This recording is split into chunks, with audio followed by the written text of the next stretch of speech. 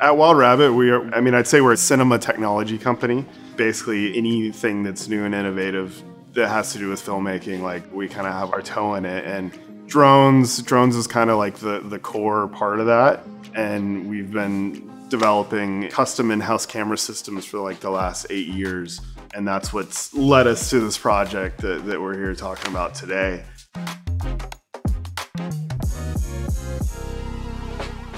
But really, what started this project is working on Black Panther 2. Uh, the second unit VFX supervisor wanted us to create a seven camera array for a drone for shooting specific plate sequences for it for that movie.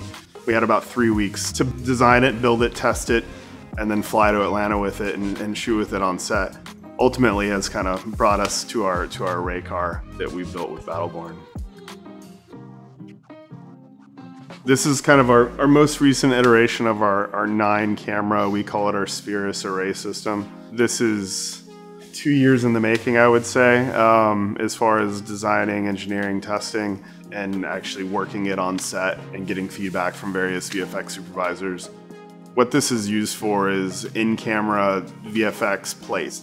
And so what that allows us to do is we can capture moving environments and then either in post they can rebuild that environment and, and pan and scan and do whatever they need to in there, or they can project that onto a giant LED wall.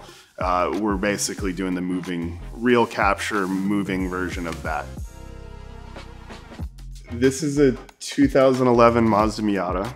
You know, without spending a, a couple hundred thousand dollars, this is this is about the lowest vehicle you can get legally on the road. I have three 100 amp hour Battle Born batteries in, in parallel in the trunk. I'm pulling straight out of those batteries to power our nine red Komodos and the rest of our 12 volt systems. And then I have a 24 volt up converter to power our stabilized head, which is 24 to 25 volts. We just plug in, everything stays on the whole day and it's just, it's just a piece of cake, so.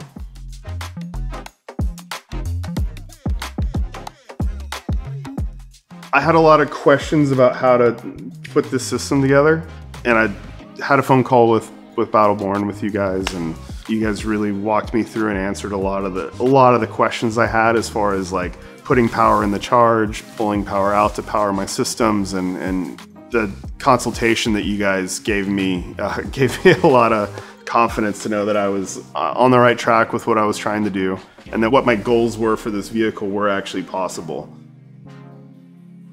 when you're working on a, a Marvel movie or any any big action film and it's time to go, your turn's up, like you don't you don't want to be worrying about your battery system or if you have charge, like you want to just be able to turn the system on and go. For us specifically having Battle Born batteries in, in our vehicle, and we know we can turn it on, we can drive off, and we can trust trust that system.